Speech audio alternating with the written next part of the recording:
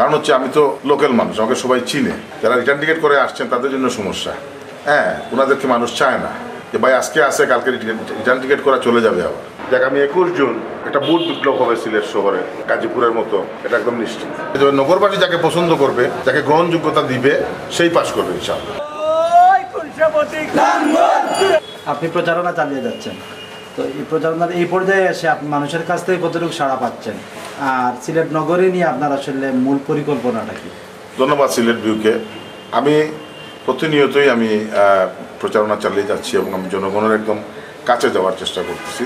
এবং সেখান থেকে যে সুর আমি পাচ্ছি মানুষের কাছ থেকে আশা ভরসা আমি পাচ্ছি যে মানুষ লাঙ্গলের দিকে ঝুঁকছে এবং মানুষের আর বুট দেওয়ার জায়গা নেই মানুষ লাঙ্গলকেই বুট দিবে। কারণ হচ্ছে আমি তো লোকাল মানুষ, আমাকে সবাই চিনে। আমি এখানে জন্ম, এখানে আমার বেড়ে উঠে, আমার ব্যবসা, বাণিজ্য, সবই এখানে। আমি তো রিটার্ন টিকিট করে আসি নাই। যারা রিটার্ন টিকিট করে আসছেন, তাদের জন্য সমস্যা। হ্যাঁ ওনাদেরকে মানুষ চায় না যে, ভাই, আজকে আসে কালকে রিটার্ন টিকিট করা চলে যাবে আবার। সো এটা হলো আমার আমার একটা প্লাস পয়েন্ট আমরা লোকাল মানুষ, আমাদের লোকাল বিজনেসম্যান আর যেটা বলছেন, আপনি পরিকল্পনার কথা যেটা বলছেন, আমি আগেও বলছি যে, আমি যদি মেয়র নির্বাচিত হই, আমি একটা মাস্টার প্ল্যানের আওতায় পুরোটা বিয়াল্লিশটা ওয়ার্ডকে আমি নিয়ে আসব। এবং আমাদের সুশীল সমাজকে নিয়ে একটা উপদেষ্টা কমিটি তৈরি করব।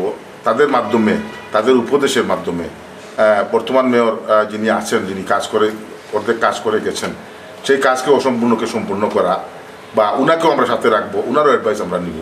নিয়ে ইনশাল্লাহ আমরা সুন্দর একটা নগরী গড়ার আমার প্ল্যান আছে। এই পর্যন্ত যেখানেই যাচ্ছি যেখানে প্রোগ্রাম করতেছি বা গণসংযোগ করতেছি, মানুষের কাছে যাওয়ার চেষ্টা করতেছি, মানুষের কাছে যাইতেছি। প্রচুর সাড়া লাভ বলে আলহামদুলিল্লাহ।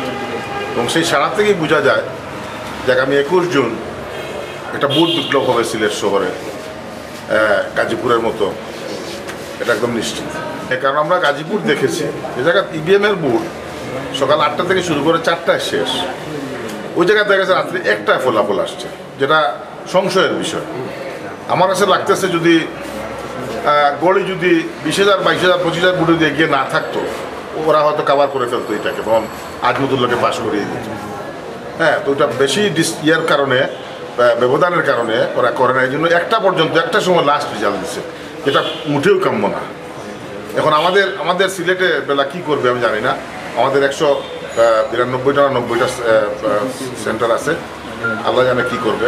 সাজেল সাপরানের মাটি আমি আল্লাহর উপরে ভরসা রাখি সবসময়ই। যে সুষ্ঠু নির্বাচন হবে ইনশাআল্লাহ আরও প্রার্থী আছে, আমি তাদেরকে রেসপেক্ট করি। হ্যাঁ যার যার প্রচারণা, তার তার চলে যাবে। নগরবাসী যাকে পছন্দ করবে, যাকে গ্রহণযোগ্যতা দিবে, সেই পাশ করবে ইনশাআল্লাহ। যে পনেরোটা ওয়ার্ড বর্ধিত হয়েছে, এগুলা আসলে ইউনিয়ন থেকে এসেছে। এগুলার দিকে বেশি করে ফোকাস দিতে হবে। যেমন তাদের ড্রেনেজ ব্যবস্থা তাদের রাস্তাঘাটের ব্যবস্থা এগুলো উন্নয়ন করতে হবে পয় নিষ্কাশনের ব্যবস্থা করতে হবে। যেহেতু এগুলা ইউনিয়নে ছিল। তো সিটি কর্পোরেশনের প্রথম চুক্তি থাকবে ওই পনেরোটা ওয়ার্ডের দিকে। আলহামদুলিল্লাহ hundred percent hundred percent hundred পার্সেন্টের উপরে যদি কিছু থাকে সেটাই আমি আশাবাদী।